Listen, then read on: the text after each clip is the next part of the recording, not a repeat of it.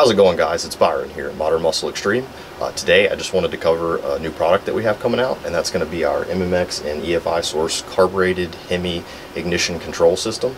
Uh, and basically all it is is an ignition box that will allow you to fire the coils on the any Gen 3 Hemi uh, and run a carburetor with it. So basically this system is super super simple. It has two wires that you need to hook up to make it fire up and run. It has a large red wire here that's going to go straight to your battery hot all the time. And then we have a smaller wire here that's just going to go to your switch 12 volt ignition source, so just right to your, your key switch.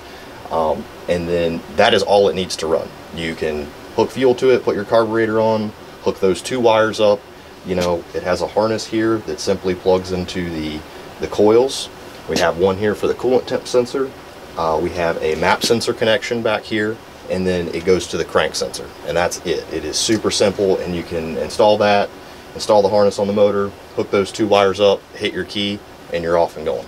So the system is very capable though. It does have a few extra wires here. Uh, it has a green wire here that is a tachometer output wire so you can take that straight to your old school tachometer in your car.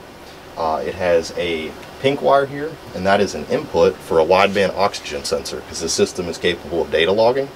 So you can hook your wideband straight into that and log your air fuel ratio, which is pretty cool. Um, and then it has a purple wire here, and that is our fuel pump. So uh, you can see here we have the main ECU, we have an ignition coil module, and then we have the um, the, the relay and the two fuse panel here. So it is it is super, super simple on the wiring. Uh, the grounds connect to the back of the cylinder heads here. They're already pre-terminated. So um, again, really simple system. We just wanted to uh, quickly showcase it for you guys to give you guys a little bit of a, uh, a heads up on, on what it can do. Um, because right now the current market offering for a, a carbureted ignition control system can only run the 32 tooth reluctor wheel which would be your uh, 03 to 0857 or your 05 to 2010 61 so if you have a new Hemi right now you have to literally take your entire engine apart uh, to change the 32 tooth reluctor wheel put it back together to run the the current market offering which is kind of insane so we wanted to give something that was a whole lot more simple that you could just you know drop it on plug and play. So we'll have two options on the website. One will be a 32 tooth reluctor uh, and then the other option will be one for the 58 tooth to run any of your 09 and up 57 61 62 whatever you want to run.